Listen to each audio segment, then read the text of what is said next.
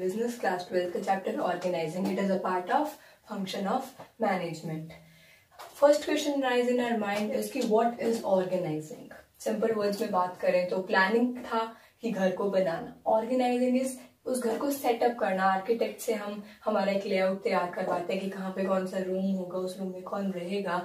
वो सब एक सेटअप क्रिएट करना is organising is a part of organising ये सिर्फ़ हम पेपर फॉर्मेलिटीज करते हैं, कोई एक्चुअल फंक्शनिंग स्टार्ट नहीं होती है। इन द बुकिश लैंग्वेज हम इसके डेफिनेशन देखें ऑर्गेनाइजिंग की तो it is it's a process it refers to a process that initiates the implementation of a plan. That is, कि plan जो हमारा इनिशिएट करता है, शुरू करता है इम्प्लीमेंटेशन जो हमारा प्लान बनाया है हमने, उसको कैसे हम परफॉर्म करेंगे, उसका वहाँ से प्रोसेस शुरू हो जाता है। It initiates the implementation of a plan and ये सब क्या करता है? Clarifies every duty every working relationship and it deploys means ये सारे जो रिसोर्सेज है उनको वहाँ पर यूज़ करते हैं हम। It deploys the resources in the effective way एक बेटर तरीके के अंदर हम सारे रिसोर्सेज को यूज़ कर सकते हैं। दैट इज़ ऑर्गेनाइजिंग ऑर्गेनाइजिंग के डेफिनेशन इज़ क्लियर अब हम चलते हैं ऑर्गेनाइजेशन के ऑर्गेनाइजिंग के स्टेप्स के ऊपर।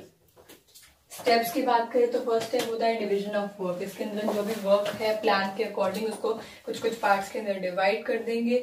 It is a principle of Henry Fayol also इससे हम स्पेशलाइजेशन को भी प्रमोट करते हैं। सेकेंड स्टेप के ऊपर आते हैं इट इज़ डिपार्टमेंटलाइजेशन जो भी वर्क को डिवाइड किया है, हमने उसको एक नाम दे देंगे, नामकरण कर देंगे उसका सिंपल लैंग्वेज में। डिपार्टमेंट जैसे production department purchase department sales department सबको अलग अलग डिपार्टमेंट बना देंगे एक। उसके बाद assignment of duties assignment of duties के अंदर बात करें तो सबको अपना अपना काम दे देंगे कि क्या क्या काम तुम्हें करना है। वो ड्यूटीज़ वो प्लेसेस हैं जो उनको फिल करेंगे हम। कि काम किसने क्या करना है? स्टाफिंग का प्रोसेस के अंदर रहेगा कि लोगों को एक्चुअल में लेकर आना। यहाँ पर सिर्फ़ हम बात करेंगे कि कौन कौन क्या क्या काम करेगा। उसके बाद में बात करते हैं स्टेब्लिशिंग रिपोर्टिंग रिलेशनशिप्स हम कैसे आपस में रिपोर्ट करेंगे? कौन सुपीरियर होगा, कौन उसका इंफीरियर रहेगा, कौन सबॉर्डिनेट है, कौन सुपीरियर है? सब कुछ हम सेट करेंगे कि कौन किससे ऑर्डर्स लेगा, कौन किसको ऑर्डर्स देगा, हमें जो भी प्रॉब्लम होगी, कैसे उसको आपस में शिफ्ट करेंगे ट्रांसफ़र करेंगे, आपस में कम्युनिकेट करेंगे। योगा एस्टेब्लिशिंग रिपोर्टिंग रिलेशनशिप्स नेक्स्ट है span of management span of management important है वन मार्क का क्वेश्चन आ सकता है What is span of management? It refers to number of subordinates that can be effectively managed by a superior. एक superior कितने लोगों को control कर सकता है उसके अंदर कितने लोग आ सकते हैं That is span of management. ज़्यादा wide अगर organization structure होगा तो हम कम लोगों को control कर पाएँगे manager का कम control जाएगा वहाँ तक नेक्स्ट है, हम स्ट्रक्चर को पढ़ते हैं। Structure can be categorise on the basis of types of activities types of activities के अंदर हम बात करेंगे फंक्शनल की और एक बात करेंगे डिविजनल की। वट इज़ फंक्शनल फंक्शनल क्या होता है? नेचर के ऊपर अगर हम कैटेगराइज करेंगे एक्टिविटीज़ को दैट इज़ फंक्शनल एक ही तरीके की जॉब्स अगर एक ग्रुप के अंदर आएँगी दैट इज़ फंक्शनल जैसे कि प्रोडक्शन डिपार्टमेंट अलग होगा सेल्स डिपार्टमेंट अलग होगा अकाउंटिंग डिपार्टमेंट अलग होगा। तो वो आ जाएगा फंक्शनल के अंदर। हमें फंक्शनल की सूटेबिलिटी की चेक करें कि कहाँ कहाँ ज़रूरत होती है। तो फ़र्स्ट होती है, अगर ऑर्गेनाइजेशन का साइज़ बहुत बड़ा है, तब हम फंक्शनल स्ट्रक्चर को ऑप्ट करते हैं। या फिर हमें उसके अंदर स्पेशलाइजेशन चाहिए अगर, तब हम इसको ऑप्ट करते हैं। फिर बात करें मेरिट्स की फंक्शनल के तो मेरिट्स होता है first specialisation specialisation of function we specialise in that function उस फ़ंक्शन के अंदर स्पेशलाइज होते हैं। प्रोडक्शन वाले उस फ़ंक्शन के अंदर स्पेशलाइज होंगे। जो प्रोड्यूस कर रहे हैं, वो अपना अच्छे से प्रोडक्शन का काम करेंगे जो अकाउंटिंग कर रहे हैं, वो हमेशा वही काम करते रहते हैं। तो वो अकाउंटिंग के अंदर अपने स्पेशलाइज होंगे। नेक्स्ट है अवॉइड डुप्लीकेशन डुप्लीकेशन नहीं होता। मेरे को पता है मैंने क्या काम करना है, आपको पता है आपने क्या काम करना है। सभी जो है अपने अपने डिपार्टमेंट्स वाले, सबका अलग अलग काम डिस्क्राइब हुआ हुआ है। अच्छे से सबको पता है कि किसको क्या काम करना है। तो कोई भी डुप्लीकेशन नहीं होता, कोई भी काम रिपीट नहीं होता। तो रिसोर्सेज है वो भी इफेक्टिवली यूज़ किए जाते हैं। नेक्स्ट है इजी इन ट्रेनिंग प्रोडक्शन वालों को प्रोडक्शन से रिलेटेड ट्रेनिंग देनी है और अकाउंटिंग वालों को अकाउंटिंग से रिलेटेड ट्रेनिंग देनी है सेल्स वालों को सेल्स से रिलेटेड ट्रेनिंग देनी है। तो किसी को फालतू की ट्रेनिंग देने की ज़रूरत नहीं है तो जि, जिसको जितनी ट्रेनिंग देनी है इजिली हम ट्रेनिंग्स दे पाएँगे। नेक्स्ट बात करते हैं इसकी डीमेरिट्स की। फंक्शनल एम्पायर जब मेरा जो फ़ंक्शन है, जैसे कि प्रोडक्शन वाले हैं या परचेज वाले हैं तो अपने अपने फ़ंक्शन के ही ध्यान देगी कि हाँ हमारा फ़ंक्शन बेस्ट हो। हमें पूरी ऑर्गेनाइजेशन के ऊपर ध्यान दे के चलना पड़ेगा। यहाँ पर ऑर्गेनाइजेशन का जो मेन मोटिव है ऑर्गेनाइजेशन डेवलपमेंट नहीं हो पाता है। मेन फंक्शनल फ़ंक्शन अपना अपना उठाते रहेंगे। बाकी चाहे हमें कोई मतलब नहीं है, किसी के भी प्रॉफिट हो लॉस हो, कोई भी किसी का फ़ायदा हो या ना हो। नेक्स्ट है difficult to hold accountable accountable हम किसी को भी बता नहीं सकते किसकी गलती। अगर बाय चांस कोई प्रोडक्शन के अंदर गलती थी और सेल्स वाले कह दे कि प्रोडक्शन के अंदर गलती थी प्रोडक्शन वाले कहते कि रॉ मटेरियल इन्होंने अच्छा सा परचेज नहीं किया था तो हमारी गलती नहीं है। या फिर ऐसे भी किसी किसी के ऊपर हम नाम लगा सकते हैं कि किसकी गलती थी। एक्चुअल हम बता नहीं सकते कि किसकी गलती है, किसके कारण हम लॉस फेस कर रहे हैं किसके कारण कोई कंप्लेंट्स आ रही है, क्या प्रॉब्लम है? It can't be actually calculated कि किसकी गलती थी। तो अकाउंटेबल हम किसी को बता नहीं सकते कि कौन गलत है। नेक्स्ट है इनफ्लेक्सिबिलिटी जो परचेज वाला है वो सेल्स के अंदर नहीं जा सकता, जो अकाउंटिंग वाला है वो प्रोडक्शन के अंदर नहीं जा सकता। हमें किसी को नहीं पता कि इधर उधर कैसे शिफ्ट कर सके। तो सबको अपना अपना काम आता है, किसी और के परस्पेक्टिव को अप्रिशिएट नहीं करते हैं यहाँ पर। इतना था फंक्शनल के लिए। नेक्स्ट है डिविजनल स्ट्रक्चर डिविजनल स्ट्रक्चर क्या होता है? It is grouping of activities related to one product under one department एक प्रोडक्ट की एक डिपार्टमेंट के अंदर आ जाएगी। जैसे कि फर्नीचर बना रहे हैं तो फर्नीचर वाला अलग हो जाएगा क्लोथिंग वाला तो क्लोथिंग वाला अलग हो जाएगा। अगर इलेक्ट्रॉनिक्स का तो इलेक्ट्रॉनिक्स का अलग आ जाएगा। अच्छे एग्ज़ाम्पल है रिलायंस ले सकते हैं। रिलायंस स्मार्ट फ़ूड के अंदर है इलेक्ट्रॉनिक्स में है। सबका अलग अलग है ट्रेंड्स वगैरह। तो काफ़ी ब्रॉड कैटेगरी है। इसकी सूटेबिलिटी कहाँ होती है? जब the products variety of products हो हमारे पास में, तब अच्छा है। जब हमें चेक करना हो कि it is a profit making और अ लॉस मेकिंग तो हम तब भी यूज़ कर सकते हैं कि प्रॉफिट वाली उनको और ज़्यादा ग्रोथ करें हम उनकी और लॉस वाली उनको जो हम बंद कर दें। नेक्स्ट बात करते हैं मेरिट्स की। स्पेशलाइजेशन प्रोडक्ट के अंदर हम स्पेशलाइज करते हैं डिविजनल के अंदर। कि जो पर्टिकुलर प्रोडक्ट होगा, हम उसको अच्छे से बनाएँगे। अगर फर्नीचर वाले तो अपने फर्नीचर के ऊपर ध्यान रखेंगे। इलेक्ट्रॉनिक्स वाले तो अपने अच्छे इलेक्ट्रॉनिक्स पे ध्यान रखेंगे। क्लोथिंग वाले हैं तो क्लोथिंग के ऊपर ध्यान रखेंगे। एक एक प्रोडक्ट के अंदर स्पेशलाइज रहेंगे हम, कि कैसे प्रोड्यूस करना और सब कुछ, हर एक्टिविटी अच्छे से स्पेशलाइज रहेगी। ग्रेटर अकाउंटेबिलिटी हमें चेक कर सकते हैं हम कि वो प्रॉफिट मेकिंग है कि लॉस मेकिंग है। जैसे कि अगर क्लोथिंग वाला अगर प्रॉफिट में है तो हम उसको ग्रो करेंगे। अगर हमारा फर्नीचर वाला लॉस में है तो हम उसको बंद कर देंगे। हमें पता चल सकता है कि प्रॉफिट मेकिंग है कि लॉस मेकिंग है। नेक्स्ट इज़ ग्रोथ हम ग्रोथ कर सकते हैं। नए नए डिपार्टमेंट्स को ऐड करते जाएँगे। हम ग्रो करते जाएँगे। हमारी ऑर्गेनाइजेशन ग्रो करेगी। नेक्स्ट है डी मेरिट्स की बात करें। Costly it is very costly compare to functional से कंपेयर करें तो डिविजनल इज़ कॉस्टली फंक्शनल के अंदर हम अपने अपने हेड्स के अंदर जितना नेसेसिटी होता था पर्सनल उतना ही रखते थे.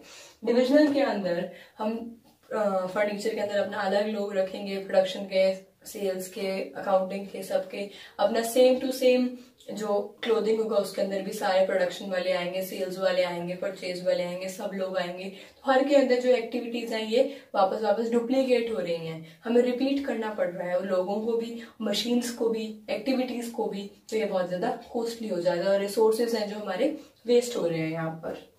नेक्स्ट है लास्ट डी मेरिट की बात करें डिपार्टमेंटल कॉन्फ्लिक्ट डिपार्टमेंटल कन्फ्लिक्ट की बात करें तो एक दूसरे डिपार्टमेंट्स के अंदर कन्फ्लिक्ट होते हैं, लड़ाइयाँ हो जाती हैं। क्लोथिंग वाला फर्नीचर वाले को कुछ समझता है। They are not at all focusing on the clothing department या क्लोथिंग वाले is not focusing on the furniture department सब चाहते हैं कि हमारा डिपार्टमेंट ग्रो हमें प्रॉफिट मिले, हमें इंसेंटिव मिले, उनका हमें कोई मतलब ही नहीं है। नेक्स्ट हम बात करेंगे structure on the basis of relationship relationship के बेसिस के ऊपर फॉर्मल और इनफॉर्मल दो कैटेगरीज होती हैं. अब फॉर्मल देखते हैं. फॉर्मल क्या होता है? It is designed by the management जो मैनेजमेंट खुद डिज़ाइन करता है ऑन द बेसिस ऑफ़ हम इसके अंदर जो भी इंफॉर्मेशन फ्लो होगी, वो स्केलर चेन के बेसिस के ऊपर होती है.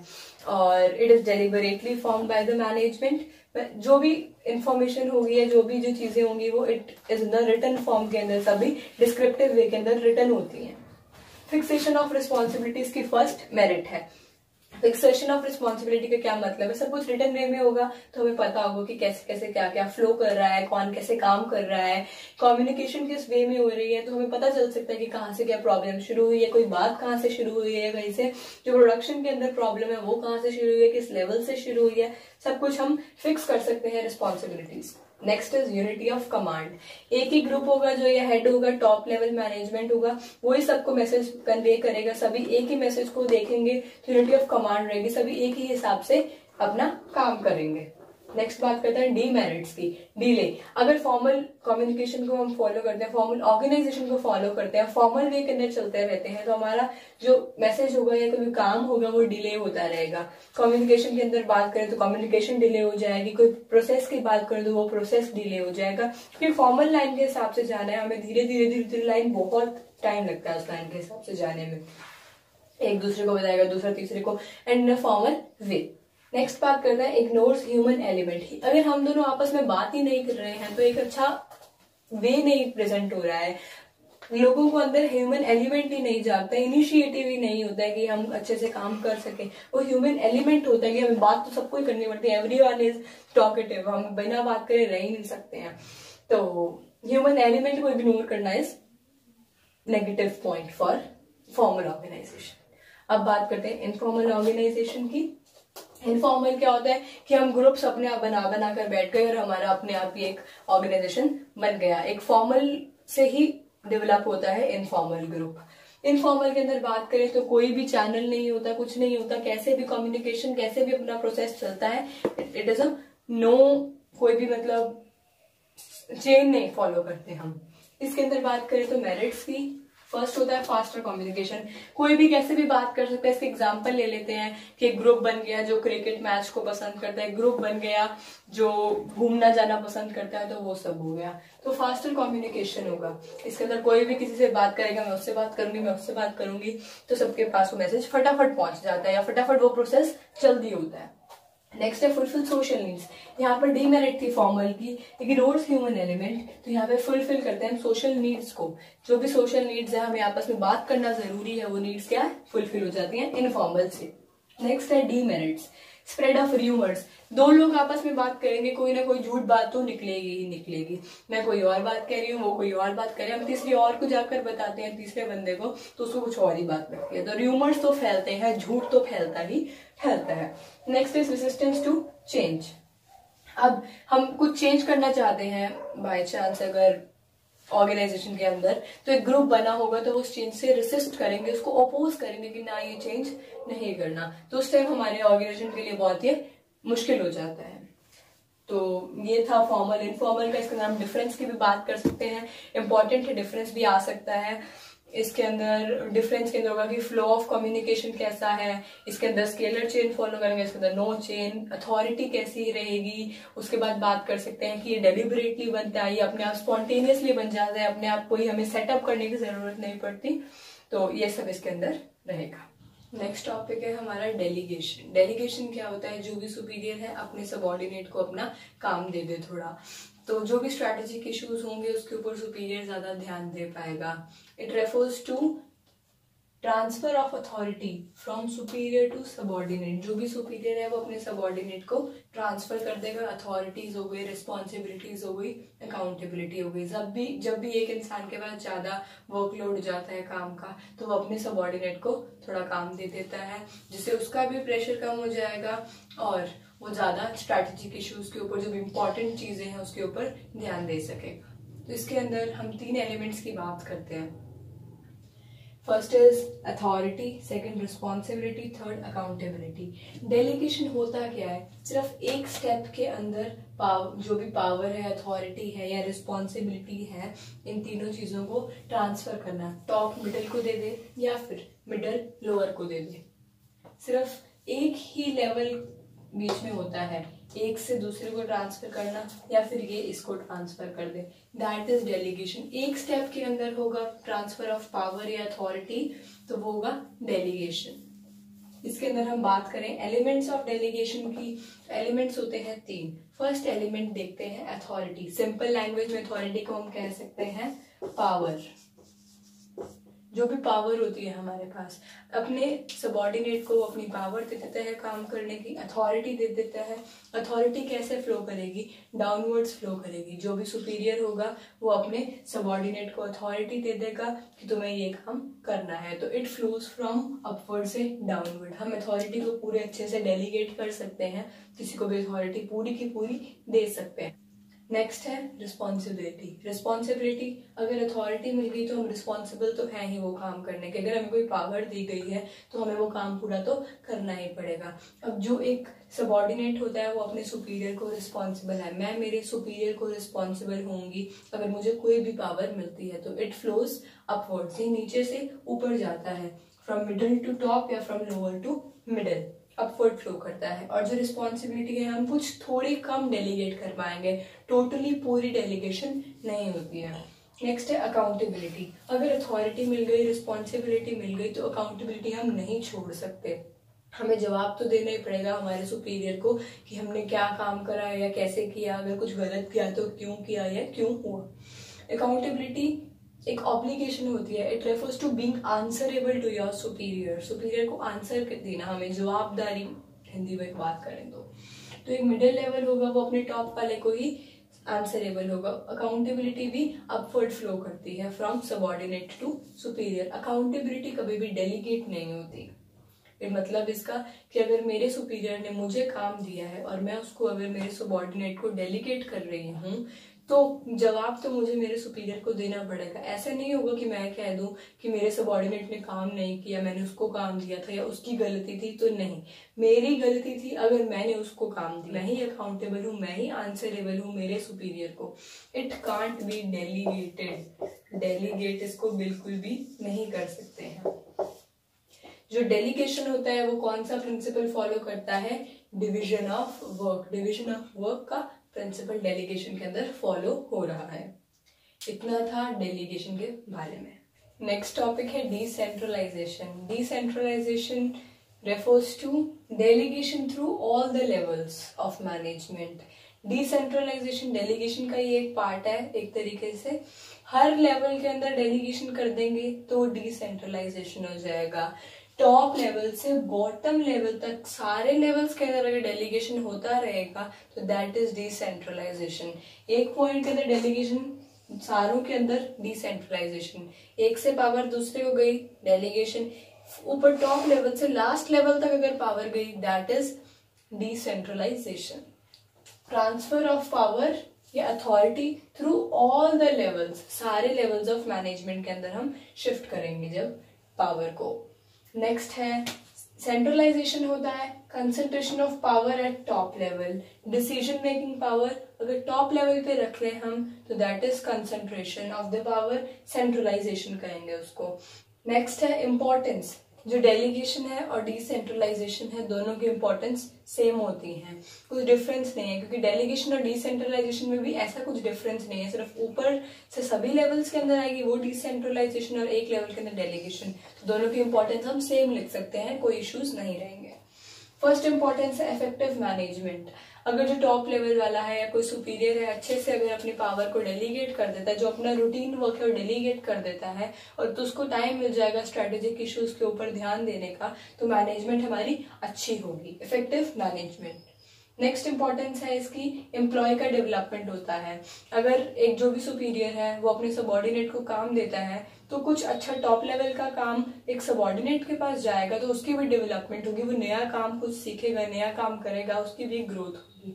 तो वो हो जाएगा एम्प्लॉय का डेवलपमेंट नेक्स्ट है मोटिवेशन टू एम्प्लॉय हर कोई चाहता है कि हमारी डेवलपमेंट हो तो एक मोटिवेशन की तरह काम करता है ये, कि भाई हमें भी काम मिले, जो भी हमारा सुपीरियर है, वो हमें अपनी पावर्स अथॉरिटी सब कुछ डेलीगेट करे। तो एक मोटिवेशन होता है एम्प्लॉय के लिए कि अच्छे से काम कर सके वो। नेक्स्ट है फैसिलिटेट्स ग्रोथ फैसिलिटेट्स ग्रोथ का मतलब क्या है? जो अगर एक एम्प्लॉय है, वो ज़्यादा अच्छे से काम करेगा, क्योंकि उसको पावर मिले, उसको मोटिवेशन मिलती तो वो चाहेगा कि उसका सबॉर्डिनेट सुपीरियर उसकी सबॉर्डिनेट को काम दे तो वो उससे ज़्यादा कॉम्पिटेटिव स्पिरिट आती है तो उससे क्या होगा? ग्रोथ इंक्रीज होगी हमारी ऑर्गेनाइजेशन नेक्स्ट है क्विक डिसीज़न मेकिंग जो भी क्विक डिसीज़न मेकिंग कैसे होगा? जो भी अगर पावर डिसीज़न मेकिंग की वो अलग अलग लेवल्स के अंदर डिस्ट्रीब्यूट हो जाएगी तो फटाफट डिसीज़न ले सकते हैं। हमारे लेवल के पास अगर इतनी पावर होगी मिडल के पास या बॉटम के पास, कि अपना अच्छे से डिसीज़न खुद ले सके तो वो हमें टॉप के पास पहुँचना ही नहीं पड़ेगा तो फटाफट डिसीज़न लिए जा सकते हैं। क्विक डिसीज़न मेकिंग होगा। नेक्स्ट है बेटर कोऑर्डिनेशन सबको अपना अपना काम पता है, किसको क्या काम करना है। कोई भी ओवरलैपिंग नहीं होगी तो कोऑर्डिनेशन अच्छी बनी रहेगी। जिसको जो काम करना है, वो अच्छे से अपना काम कर रहा है। और कोई भी ओवरलैपिंग नहीं हो रही, कोई भी वेस्टेज नहीं हो रही रिसोर्सेज की तो ऑप्टिमम यूटिलाइजेशन भी होगा रिसोर्सेज का। तो दोनों के कॉमन पॉइंट्स लिख सकते हैं हम इम्पोर्टेंस के। ऑर्गेनाइजिंग में हमने पढ़ा अलग अलग structures divisional functional formal informal organization के बारे में भी पढ़ा डेलीगेशन डिसेंट्रलाइजेशन भी पढ़ा। बात करेंगे इम्पोर्टेंस ऑफ़ ऑर्गेनाइजिंग की। ऑर्गेनाइजिंग क्यों ज़रूरी है? First is benefits of specialization specialization के बेनिफिट्स स्पेशलाइजेशन कैसे? अलग अलग डिपार्टमेंट बनते हैं ऑर्गेनाइजिंग के अंदर हर डिपार्टमेंट अपना अपना काम करता है। इससे क्या होता है? डिवीज़न ऑफ़ वर्क होता है। तो हम स्पेशलाइज्ड होते हैं। सबको एक ही काम करना होता है। वर्कलोड कम हो जाता है और प्रोडक्टिविटी ज़्यादा हो जाती है। तो इसके अंदर क्या होगा? इससे वर्कलोड कम हो जाएगा। वर्कलोड कम हो जाएगा। प्रोडक्टिविटी इंक्रीज हो जाएगी। तो इससे हम स्पेशलाइजेशन के बेनिफिट्स भी ले सकते हैं ऑर्गेनाइजिंग से। Second importance is clarity in working relationship हमें लास्ट पॉइंट हमने पढ़ा था ऑर्गेनाइजिंग के स्टेप्स के अंदर कि एस्टेब्लिशिंग रिपोर्टिंग रिलेशनशिप्स तो इसके अंदर जो भी रिलेशनशिप रहेगा, हमारा रिपोर्टिंग का वो एकदम क्लियर होगा। कोई भी इसके अंदर हमें प्रॉब्लम नहीं आएगी। सबको पता होगा कि कौन किसका सुबॉर्डिनेट है, कौन किसका सुपीरियर है, हमें कहाँ से ऑर्डर्स लेने हैं, हम किसको आंसरेबल हैं, किसको अकाउंटेबल है, सब हमें पता होगा। सारी चीज़ें, सारे रिलेशनशिप्स अच्छे से क्लियर होंगे, कोई भी प्रॉब्लम नहीं आएगी। तो क्लैरिटी रहती है वर्किंग रिलेशनशिप्स के अंदर। Next is optimum utilization of resources सबको पता है क्या काम करना है। कोई भी डुप्लीकेशन ऑफ़ वर्क नहीं होगा, कोई भी वेस्टेज नहीं होगा रिसोर्सेज का। तो अच्छे से जो भी रिसोर्स है ऑप्टिमम यूटिलाइजेशन होगा उनका। द बेस्ट यूज़ होगा। नेक्स्ट है इफ़ेक्टिव एडमिनिस्ट्रेशन इसका मतलब अच्छे से कंट्रोल करना। सभी डिपार्टमेंट्स हैं, उनके अंदर अपने अपने हेड हैं तो अच्छे से कंट्रोल करेंगे एडमिनिस्ट्रेशन अच्छी चलती रहेगी ऑर्गेनाइजेशन के अंदर। नेक्स्ट पॉइंट है डेवलपमेंट ऑफ़ पर्सनल पर्सनल का डेवलपमेंट हो रहा हमने डेलीगेशन के अंदर और डिसेंट्रलाइजेशन में भी पढ़ा था ये एक सुपीरियर है जो अपने सबॉर्डिनेट को अपना काम डेलीगेट कर देता है। तो उससे जो भी एम्प्लॉय है, उसका अच्छे से डेवलपमेंट होता है। वो अच्छे जो और काम करने लग जाता है हाई डेवलपमेंट स्किल्स होती हैं उसके अंदर। Next last importance is expansion and growth delegation और डिसेंट्रलाइजेशन की ही बात करें तो ज़्यादा कॉम्पिटिटिवनेस बढ़ेगी। तो ज़्यादा ग्रोथ बढ़ेगी। प्रॉफिट ज़्यादा होंगे कॉम्पिटिटिवनेस ज़्यादा होने के कारण तो ग्रोथ ज़्यादा होगी।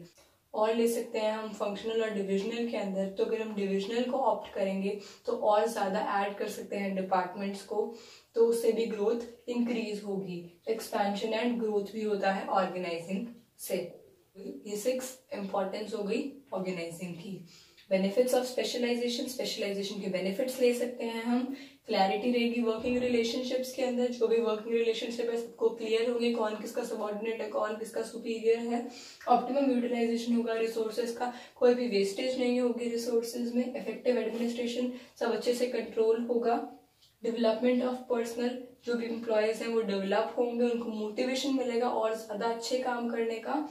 एक्सपेंशन एंड ग्रोथ अच्छे से एक्सपैंड होगी, नए डिपार्टमेंट्स ऐड होंगे। तो ये था हमारा fifth chapter organizing I hope सबको समझ आया होगा। और प्लीज़ कमेंट अगर अच्छा लगा तो कोई भी प्रॉब्लम है, तब भी कमेंट करें। For more videos please like and subscribe thank you